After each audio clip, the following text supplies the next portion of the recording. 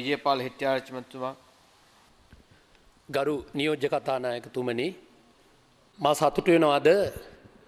ගාල්ල දිස්ත්‍රික්කයේ ඉන්දුම් පත්වේ ඉපදිච්ච කෙනෙක් හැටියට තේගස් යට රබර් ගස් යට හැදිච්ච කෙනෙක් හැටියටත් දැයේ බත නිසා ජීවත්වෙච්ච මිනිහෙක් හැටියටත් ඉතාමත් වැදගත් කාලීන නෙවෙයි මහිතනව හැමදාටමත් වැදගත් මාතෘකාවක් වන ගරු ජේෂ්ඨතම අපේ මන්ත්‍රීවරයෙක් ඇමතිවරයෙක් වූ දිනේස් ගුණවර්ධන මැත්තුමා මේ යෝජනාව මේ අවස්ථාවේදී ගෙරීම සම්බන්ධි.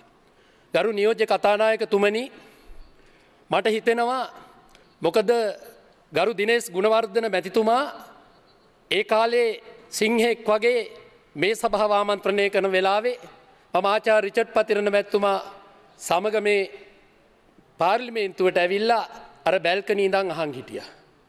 මේ කාලේ මම මේ පිළිබඳ විශේෂඥයෙක් ඒවගේ මාර්ථික විශේෂඥයෙක් නොවනත් ගරු නියෝජ්‍ය කතානායක තුමනි මම ඉතිහාසය හොඳට කියවල තියෙනවා. මේ පාර්ලිමේන්තුව හැන්සාට් කියවල තියෙනවා. ගරු දිනේස් ගුණවර්ධන මැත්තුමා හරියට මැරිල්ල ඉපදිච්ච වගේ තමයි අද කතා කරන්න. මේ කාලය ගත්තොත් එක්දස් නමසි අනු හතර ඉඳලා අවුරුදු දාහතක් දාහටක් පාලනය කරල තින්නේ එක්සත් ජනතා සන්ධාන එක්කොස් පොදු පෙරමුණ අපි දන්න ඔය කාලය තුළ.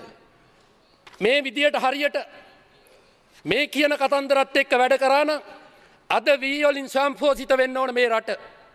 රබර්වලින් අද පිටරට යවන තත්වට පත්වෙන්න ඕන ඉතාමත් මිහල ඒ විතරක් නෙමෙයි අද පොල්ලොල්ට වෙලතින්න මොකක්ද අද රබරෝල්ට වෙලතින්න මොකක්ද මේ සේරටම මේ රටේ වැඩි කාලයක් පාලනය කරපු එක්සත් ජනතා නිදහස් සන්ධානය පොදු ජන එක්සත් පෙරමුණවක් කියන්ට ඕන. දෙදස් එකයි දෙදස් හතරයි විතරයි එක්සත් ජාතික පක්ෂ මේ කාලය තුළ පාලනය කරේ. මම අහන අවුරුදු තුනටද මේ රටේ තිබෙන මේ වී නිස්පාදනය අඩුනේ මේවයි සහනාධාර දෙන්න බැරි වුණේ අනි පැත්තෙන් තේෆෙක්ටරි වැැහුවේ කියලා. මම කියනවා ජනවාරි අටවෙන්දැන් පස්සේ මම ගාල්ල දිශ්විකේ මන්ත්‍රීවරයෙක් හැටියට මං අවුරුදු දාසයක් පලාත් සබයි මන්ත්‍රීවරයෙක් හැටියට ප්‍රාදේශ සභා අවුරුදු අටක් හිටපු කෙනෙක් මමත් මේ හැමතැනම ඇවිද්ද මිනිියෙක්. නමුත් ගරු නියෝජ්‍ය කතානායකතුමනි එක කර්මාන්ශාලාවක් වහල නෑතේ කර්මාන්ශාලාව. ජනවාරි අටෙන් පස්සේ අපි එදා දිනසිය වැඩසටහන කිව්වා. අපි අගෝස්තු වෙනකං නිවරදි විදියට අපි ඒ සඳහාවශ්‍ය සහනාධාරය දුන්න. ඒව ගරු ගෑන්ත කරුණාතිලක මැතිතුමා ප්‍රකාශ කරගරු නියෝජ්‍ය කතානායකතුමනි. එනිසා මම එකක් කියනවා. අර බලය තියනකොට මොලේ නෑ. මොලේ තියනකොට බලය නෑ කියල කතන්දරයක් තිබෙනවා. මේ කතා කරන හැම මහත්තුරුම බලය තියන වෙලා මේ ගැන වචනයක් කතා කරේ නෑ. අද කතා කරනවා සහනාධාර ගැන. අද කියනවා මේව දියව් කියනවා. නමුත් මම හනවා තවම මේ පටන්ගත්ත විතරයි මේ තොයිලේ හරියට මේවා හොඳ හොඳ සෙල්ලම් මෙලිවෙන ජාමයට ජනවාරයට පටන්ගත්තා කරුණුසියක් ඉෂ්ට කර. අගොස්තු දාහත පටන්ගත්තා මේක ඉන්නවා දැන් දෙගොල්ලොම. මේ විවේචනය කරන ඇති ඉන්නවා. සභාපත්තුමනි.